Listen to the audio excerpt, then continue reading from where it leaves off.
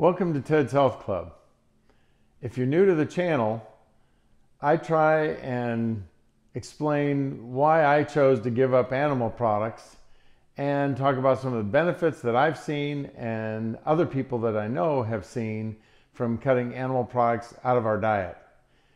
And once a month, I give a talk and show some of the food that I eat. Uh, the first Wednesday of every month, uh, I call it uh, Ted's potluck uh, dinner because I'm hoping that on the first Wednesday of every month, everyone will make a plant-based meal, whole food plant-based meal, and join me in and watch uh, my video that I'm making, my podcast, to help people to find and see the benefits of eating plant-based. And I hope that once you do that, that you'll invite someone else over to watch it or tell someone else about it, forward it to other people to kind of spread the, the information about the benefits of eating whole food plant-based.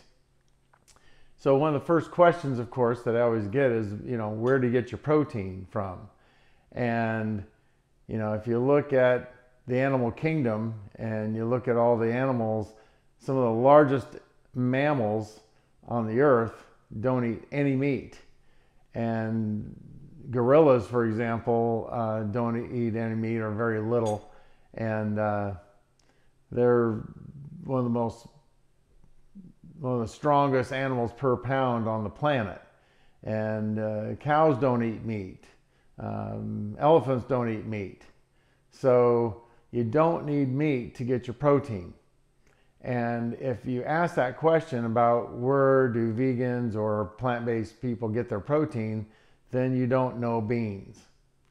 In other words, you need to research beans because there's a lot of protein in greens and beans, even potatoes and rice. But today uh, I'm going to show you what I eat because that's the next question that I get. Well, what do you eat? So I'm going to kind of talk about how I start my day out. Uh, I have a green smoothie and what I do is I juice um, cucumbers and celery and then I add in also some uh, wheatgrass and that's all I drink in the morning until 11.30 or 12. So I'm doing kind of a modified um, intermittent fasting program. Uh, there's no carbohydrates in, in this green drink, so it doesn't uh, force my body to produce any insulin. So I'm giving my body an 18 hour window. If I stop eating at six or seven and I don't eat until 11 or 12 the next day, it's, you know, approximately an 18 hour window where my body doesn't have to produce insulin. So it gets a break and it makes my body more insulin sensitive. Uh, one of the things that I talk about on this channel is that my diet is 80% carbs, 10% fat, and 10% protein. I've lost 60 pounds. I've never been hungry. I've never counted a calorie. And so when people ask me, what do you eat? Well, there's a lot of things that you have to choose from. And you discover more as you cut out meat, you discover more. And as, especially as you cut out dairy, and you find the benefits and the reasons of cutting out dairy and meat, you find all these other options to, uh, uh, to eat. So I start off my day with the green drink and then around, you know, whenever I get hungry, 11 or 12, sometimes it's one o'clock, then I'll have overnight oats and I'm going to talk to you about how I prepare my overnight oats. Uh, on other days, I'll have a salad. On other days, I'll have uh, my potatoes that, uh, that I did a video on, uh, how I bake my sweet potatoes and my uh, golden yellow potatoes. Um, other days I'll have a hummus wrap, um, uh, vegetable soup. So there's, there's just so many options. And uh, the, the menu for today, if you look on our website, we have the menu for today, tedshealthclub.com or on my Facebook uh, page, Ted's Health Club, uh, you'll see that we have a sweet potato uh, recipe that anyone would love. So I hope you will try that. So I start off with, uh, for my overnight oats, I start off with um, steel cut oats, and then I mix in some uh, chia seeds, and I blend my chia seeds in the blender uh, so that it's ground chia seeds. It just your body's able to absorb it easier. Sometimes the the seeds are, are harder if they're not uh, chewed up. Uh, then I add in some hemp hearts and some ground flaxseed, and that's the the base of my uh, overnight oats. Now people, you know, will ask why why don't you cook your overnight oats? Well, I soak them in oat milk, uh, almond milk, you know, any kind of plant-based milk overnight, and by the next morning, they're they're ready to eat. I mean, all you have to do is add fruit to them, and it's ready to go. And one of the reasons that you don't cook oats is because they naturally have, uh, of course, fiber, and, and that doesn't hurt to cook, but the it has resistant starch in it, uh, oats do. And the, the two things that your microbiome want, which is your good bacteria in your gut, the two things that it wants is fiber and resistant starch. And so there's a lot of resistant starch in oats until you cook it. With potatoes and other starches, it increases the resistant starch by cooking and cooling. But with oats, it actually preserves the resistant starch to not cook it. So I soak it overnight in uh, some kind of plant milk. Uh, I make my own plant milk and I make it out of the same ingredients that I use in my overnight oats. And you might think it's funny why I have uh, my sugar here. It's actually not sugar. It's actually my overnight oat mix. I take all these and put it in here and then all I have to do is put a couple of scoops, uh, tablespoons into my milk maker and out comes plant-based milk. Uh, I'll put these items in there and I'll also put in maybe a couple pecans, a couple walnuts, a couple almonds. And I, so I make my own plant-based milk. Uh, some people uh, may think this is a little too thick, so you may want to strain it in a strainer. You can also just put these same ingredients in a blender and run it through a strainer, and there's your plant-based milk. So uh, the reason that I make my own milk is because the uh, milk that you get from uh, the stores uh, have, um, you know, it's processed. It's uh, probably has some preservatives in it. Uh, probably has some emulsifiers in it to keep the milk mixed up. And so those emulsifiers that they put in those are hard on your gut uh, can be one of the contributing causes toward leaky gut syndrome. So I, I try and stay away from uh, emulsifiers if I can. Uh, if I don't have time to make my own milk, I'll buy oat milk at the store or almond milk at the store. Uh, so I'm not saying that uh, I don't recommend it. I just think that this, I, I know, you know, what's in this and it's all just natural. So I'd, I'd rather make my own if I have time. Okay, so then I have uh, two bowls you'll see of overnight oats. This is mine because I take it with me with a, a top on it uh, after I add the fruit to it and take it with me to work and that's what I'll eat for lunch uh, today. And then I'll throw some berries on here for Brenda, uh, strawberries, blackberries, raspberries. Other days I'll slice apples and put uh, Ceylon cinnamon in it and Ceylon cinnamon, I don't know if you're aware that the cinnamon you buy in the grocery store, cinnamon. you should go to a health food store and ask them, I want the healthy cinnamon. And they'll know what you mean. And what, what you're asking for really is the Ceylon cinnamon. But if you forget the word Ceylon, then at least you can go to the health food store and say, I want the healthy cinnamon, and they'll know exactly what you're talking about. Okay, so That kind of encompasses my breakfast and lunch. And then there's all kinds of things you can do for dinners uh, that are plant based. And I've got recipes on my website, tedshealthclub.com. Uh, I've got educational videos on my website. I've got previous uh, potluck talks that I've given, and I hope that you go check it out. Uh, right now, we're going to hear from a few doctors on some of the benefits of eating plant based. Enjoy.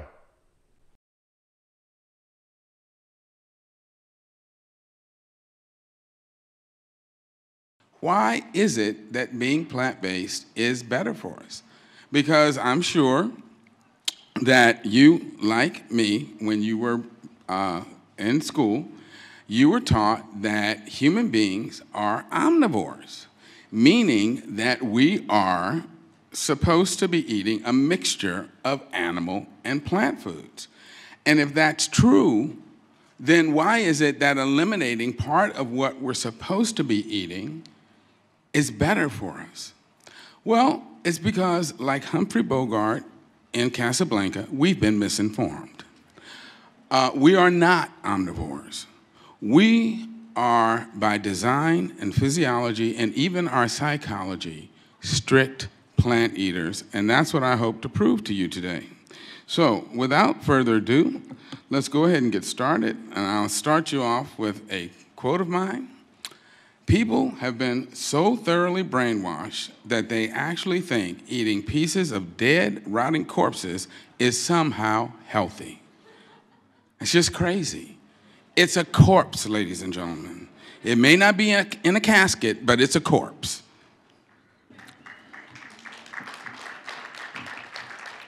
So, so, why is this topic important? It's important because experts estimate that up to 80% of the major disease and premature death that we see in Western countries every year could be prevented by making major changes in our diet and lifestyle. And again, just think about that for a moment 80%. If I were to ask to, for a show of hands, which I really can't see because the lights are in my eyes, but if I were to ask you to raise your hands if you know of someone who's had a heart attack or had cancer or has diabetes or who has died from these diseases, I'm willing to bet every single hand in this room would go up. And I'm sure uh, many of you, like me, have lost loved ones before their time to these dreadful diseases. Well, if you think that 80% of those people or 80% of the suffering that they've endured could have been avoided, that is just a really sobering statistic. And so we need to understand that yes, being plant based will help us avoid these things, but we also need to understand why. And it's also important to understand why because it puts greater impetus and a, a, greater moral underpinning on the need to change our diets. Now, we've been told we need to change our diets for our health. Uh, Brenda mentioned how important it is to save the earth. Lots of people are talking to you about the, uh, um, the impact of animal-based agriculture on uh, climate change and global warming. It is the number one driver of climate change and global warming.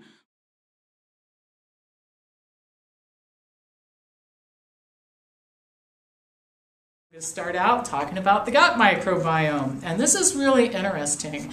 Um, a lot of studies have looked at the effect of the diet on the gut microbiome, but few studies on diet of any type have included vegans as an experimental group.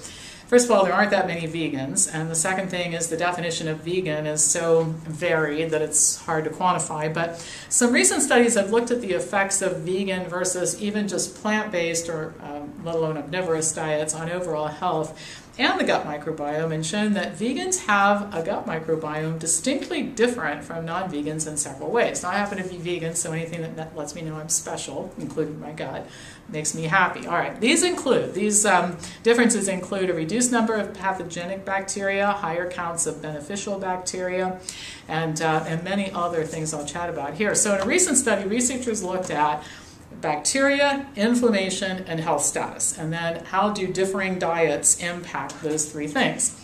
So um, the whole study was like 40 pages long and lots of references. I'm just going to cover some highlights here, and then you can go back and read the original if you want to. But they cited one study in which Slovenian vegans were shown to have more of a particular type of bacteria that I'm not even going to try to pronounce on this broadcast here, which is very um, effective and, and highly productive at producing butyrate and other short chain fatty acids such as acetate and propionate. These fatty acids perform many functions. They act as signaling molecules to reduce inflammatory responses. The gut bacteria that produce these fatty acids prefer fiber as a nutrient. And uh, obviously, vegans eat a lot of fiber. Omnivores, not quite so much. So it's not surprising that we would have higher counts of these particular bacteria that produce these short chain fatty acids that address inflammation. And it just goes to show you what a magnificent machine our bodies are. Like we have all kinds of natural ways to address things. You know, a lot of people take um, aspirin every day or Aleve or Tylenol for inflammation. My body is just handling it on its own. Nice to know, right?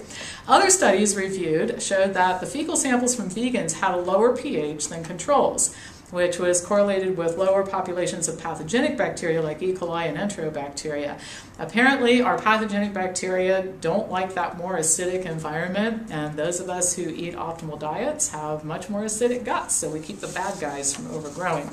The authors reviewed studies looking at the connection between vegan diets, gut bacteria, and inflammation, concluded that vegan diets had a positive effect of, on inflammation related diseases. Of course, we've seen that with people who have inflammation related diseases like allergies, asthma, and autoimmune diseases. In one study, patients with rheumatoid arthritis were randomly assigned to eat a raw vegan diet or an omnivorous diet.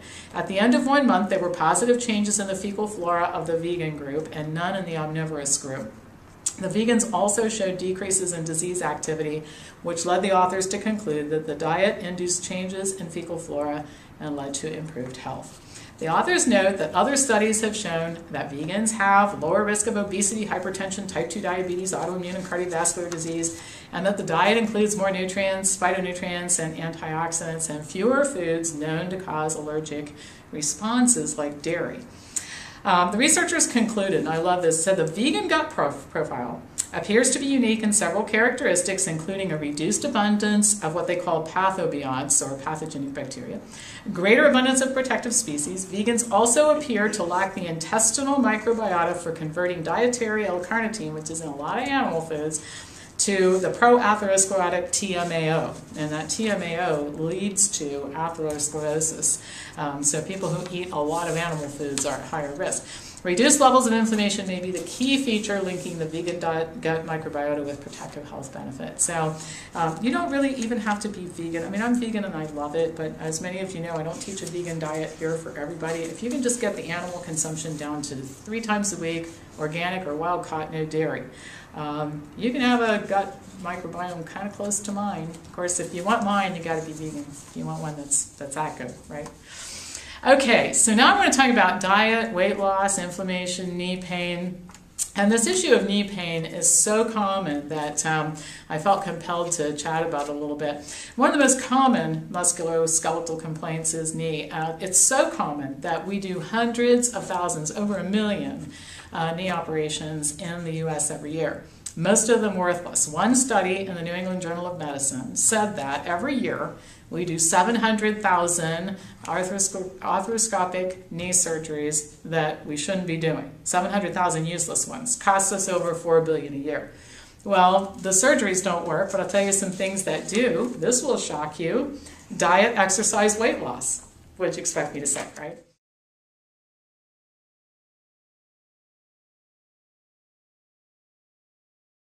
To maximize the protective components in the diet, the fiber, the phytochemicals and antioxidants, the pre and probiotics. We'll just go through these really quickly. Fiber, how much is recommended? Well, 38 grams a day for men, 25 for women. How much do we actually get? Well, most people about 15 to 17 grams a day. Vegans, 35 to 40 for women and 45 to 60 for men. Anybody hazard to get, well, I'm telling you here, but how much people ate in Paleolithic times? 70 to 150 plus grams a day. That was what people got back then. And so what is optimal? Well, probably optimal is at least 40 grams a day to, you know, 40 to 80 grams a day, somewhere in there. And certainly vegans are at an advantage because all plant foods contain fiber. All whole plant foods. Um, so how much? Well, you get 10 to 20 grams in a cup of beans or lentils. You get, lentils are about 16, um, uh, navy beans are about 19, just for example. Uh, avocados, about 13.5 in one avocado. That's amazing to me. I would have never thought they were a really rich uh, source, and that's not including the skin, by the way. You don't have to eat that. And grains, about 5 to 10 in a cup. Berries, about 3 to 8. And then fruits and vegetables and nuts and seeds other than berries would be in the 2 to 5 range per serving. And of course, only plant foods contain fiber. Um, the low fiber foods are the refined carbohydrate foods, fast foods, highly processed foods, and the no fiber foods are meat, poultry, fish, dairy, uh, and of course oils and sugars. Uh, so we want at least 12 to 20 grams of fiber per meal from a variety of whole plant sources. Uh, phytochemicals and antioxidants, we just need to be uh, maximizing these in our diets because they afford powerful protection against disease. Phytochemicals, these are plant chemicals and antioxidants, literally put a lid on inflammation and oxidative stress. So we need them in our diet. And one of the things I should mention here is, is that if you take antioxidants or phytochemicals and you package them in a pill form, they don't do the same thing as they do when they come from food. And as a matter of fact, their intake in that form could backfire, as it has in some studies. Do you remember in 1980s, they found people with high levels of beta carotene had low levels of lung cancer? So they did several studies giving beta carotene to people with, with, uh, who were at risk for lung cancer, smokers. And what they found is the people who took the beta carotene ended up with more cancer, not less. And so you go, why? How could that be? Well, it could be because when you eat carotenoids from foods, you're eating 50 or 60 different kinds of carotenoids, not just one. And it may be that a variety of those carotenoids are needed to, are needed in order to work synergistically to provide the protection. And when you load your body up with just beta carotene, maybe you actually prevent the absorption of some of those others because your body thinks it's got enough carotenoids. So we don't know for sure, but it's always better to be getting those, those you know, protective uh, antioxidants and phytochemicals from whole foods. And we know these compounds can help to reduce our risk of disease. So how do we maximize intake? Well, to start with, we want to think variety. So instead of always having the same grain, or instead of always having the same nut or seed, or the same vegetable, Mix it up because each one provides something a little different. And so the whole works. It's not just fruits and vegetables that provide these antioxidants and phytochemicals. It's all of the plant foods. We want to think color. So the richest sources are often the most colorful. So instead of white onions, choose purple onions. Instead of, you know, um, brown rice, choose black or red rice. Instead of you know, white beans choose red or purple beans or whatever, and you, you get the idea. But generally, even with lettuces, you want deeper green rather than lighter green. You always want to go for color when you can. So if you're buying quinoa, if you could buy the red or black, it just gives more antioxidants. And, and certainly you, it doesn't mean you can't eat the, you know, the beige or the white colored grains. They're fine too but just mix it up so you have a variety of colors in your repertoire. So, and with uh, vegetables and fruits, you want to eat the whole rainbow. I would say at least three green, two orange, yellow, two red, pink, one purple, blue, and one white beige every day. And, and so when you make a salad, one of the the little goals you can have for yourself is to see if you can reflect the whole rainbow in your salad. And even try to include things that have unusual colors, like watermelon radishes, uh, that are this unique fuchsia pink. You know, try to get that mix of all sorts of different colors. increase your intake of raw foods. And the reason we talked about plant enzymes, but some plant enzymes help you to convert the phytochemicals in foods into their active forms, what we call bioactive metabolites.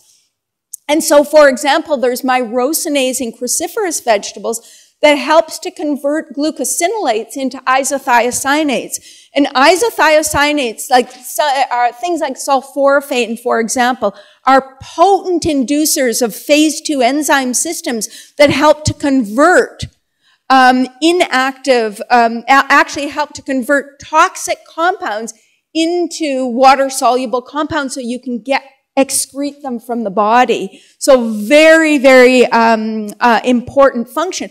If you cook your broccoli, you kill the myrosinase and you get less conversion.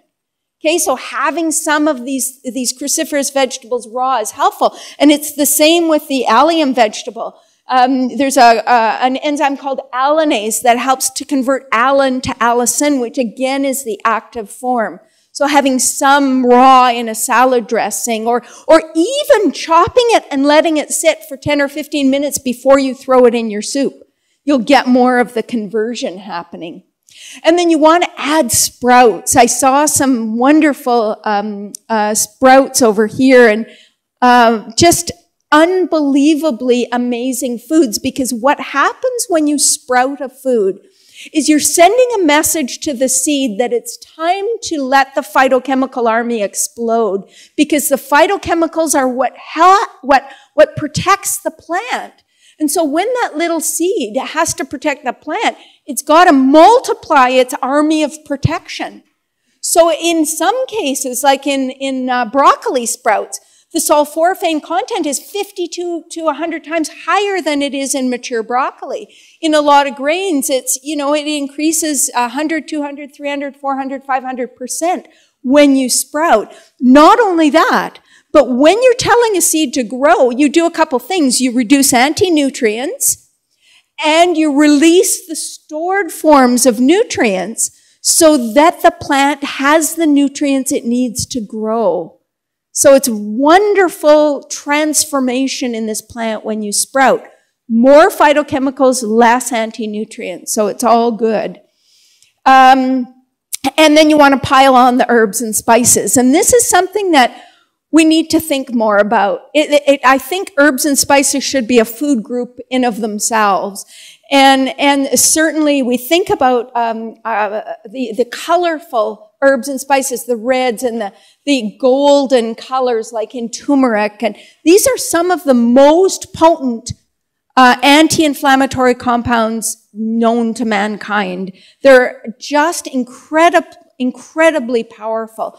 And uh, we need to use them. In, in your breakfast, you can add you know, cloves and nutmeg and cinnamon and all of these kinds, or you can do a savory breakfast and include, um, you know, a wide variety. But at every meal, think about adding herbs and spices. And then we've got plant-based probiotics and prebiotics. Probiotics are the microorganisms in food that take up residence in our gut and help to support a healthy gut flora. And, and um, if the, you know, if, if our gut flora is healthy, we reduce inflammation, of course. And prebiotics are the food for that flora. So that's what they would eat to keep themselves healthy. And so there are a number of things we can do to shift our gut flora from unhealthy to healthy. We can eat a plant-based diet rich in, in prebiotics. So prebiotics, where are they? Well, beans are a wonderful source. Uh, Jerusalem artichokes, bananas, onions, and you know all of the plant foods are sources of these indigestible um, uh, uh, fibers that feed our gut bacteria. We want to eat food-based probiotics such as yogurts like almond yogurt or coconut yogurt or any of these kinds of fermented foods, fermented vegetables, sauerkraut, tempeh, miso, all of these uh, probiotic rich foods. We want to minimize our intake of uh, refined carbohydrates, processed foods, meat, fried foods that can damage our gut microbiota. take probiotics if you're taking antibiotics, and minimize alcohol, which are quite, is, is quite um, harmful to your gut microbiome. I hope you enjoyed those videos. I hope they brought you perhaps one step closer to cutting animal products out of your life for your health, for the planet, and for the animals. Join us the first Wednesday of every month for our potluck. You've got to try this.